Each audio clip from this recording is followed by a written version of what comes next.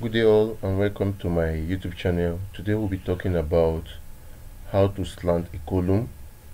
You maybe you're giving a drawing that there was a slanted column. How do we get that slanted column in ProtaStructure how do we design model for the slanted column? That is what we'll be doing today. And I'll be taking you through it step by step. I'll be showing you the various steps that are involved in it and also too I would like to ask that you like share and comment on my videos. You can share with your friends people that needs this video people that want to learn more about ProtaStructure uh, I have previous videos that have taken care of so many topics on ProtaStructure so today back to business. We'll start first by creating an axis.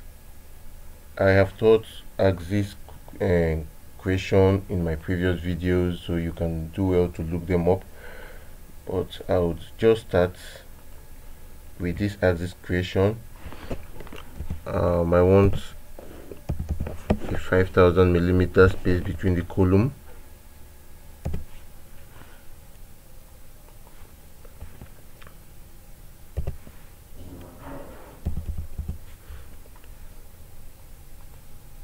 I see an axis has been created. And this is in 3d so whatever we are doing you are going to be seeing it over here. Now I also want to offset this as axis so I'm going to press F2 so that I can put what I want. I want to offset it by 1000 I also want to offset this axis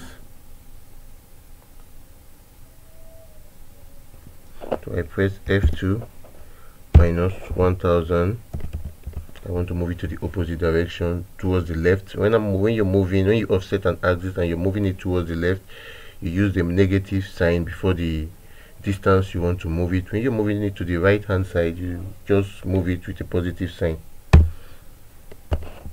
Now we've offset the axis so let's put our column where we want it to be like our starting point like the top of the column. I'll be carrying the slab so I I want my column to be 225 dimension by 225 so I'm going to put my column here. You can see I put another one here. I put another one here. And then the last column here. Now how do we slant this column? Which is what I'll be talking about now. So I click on property. I click on pick bottom insertion point and I pick the point I want and I update. You see it's already slanted over here. Now let, let's pick the next one. I pick this column. I click on properties.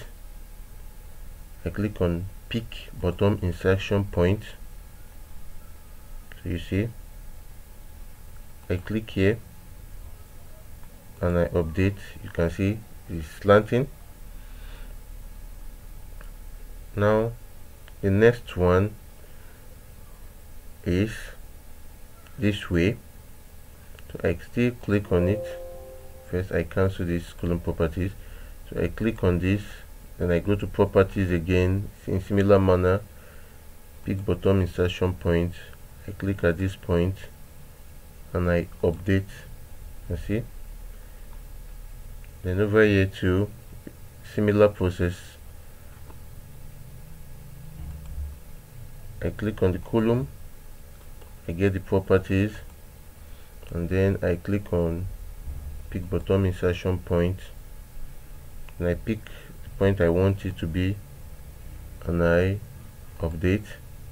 You can see that we've slanted our columns now let me just put a beam.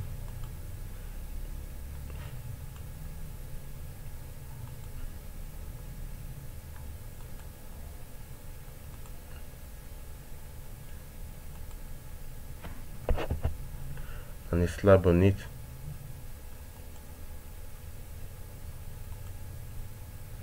You can see? So this is how you slant your column. I hope it is quite easy and simple to understand. Thank you for watching and God bless you. I would like to say you should like comment share and subscribe to my channel. Once again thank you for watching and God bless you